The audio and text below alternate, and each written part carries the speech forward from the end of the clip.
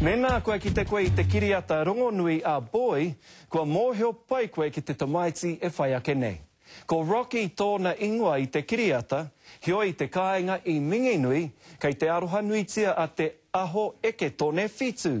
Kua mōkai hoki ngā ngākau o te hunga mātakitaki huri noa ki a ia. Nā tōna kaha pea, me tōna pai, ki te whakakanohi i tētahi tamaiti i tipu ake i roto i te wairua Māori me te hapori Māori. Kāti, he pakiki nō mātou o Marae ki ana pūkenga whaiwhaiā i roto i te kiriata, i puta ai tā mātou karere a Carly Hemopō ki te rohe o Ngāti Whare ki te kōrero ki a Te Aho Eke Tone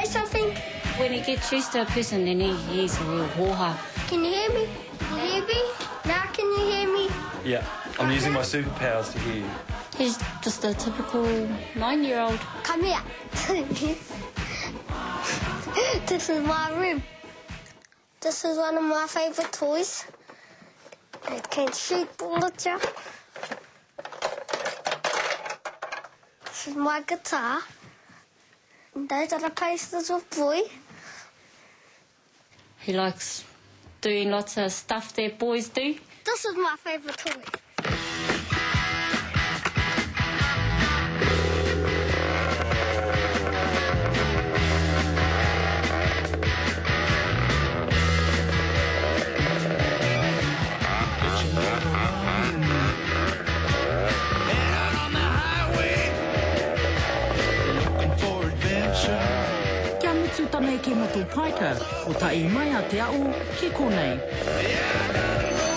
Tēnei te kura toi tua te Whāti Nui a Toi.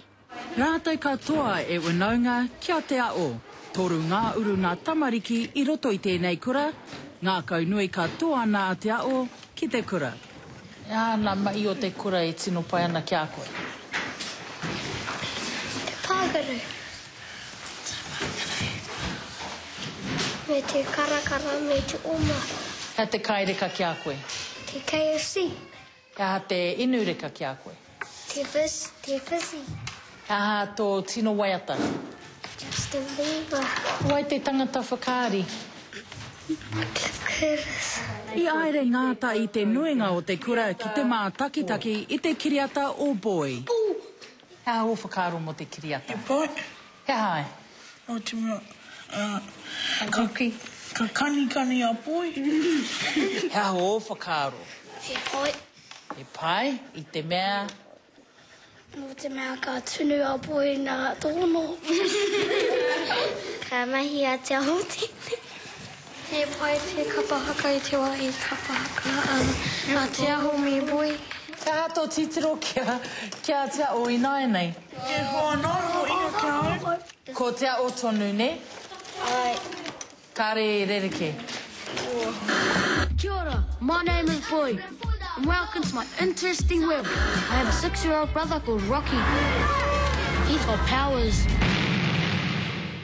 E a ua rite a Rocky ki tōna kaiwakaari a Te Aʻo. E ruarua noa o āna rārangi kōrero, erangi e nui tonu tana tūranga. Sorry, I think I did that. Hey? I think I made you fall over. Sorry. Gear up. We're going over the top.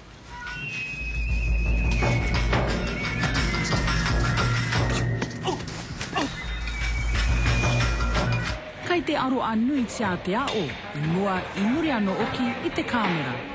The thing with him is he is rocky, you know, I think he.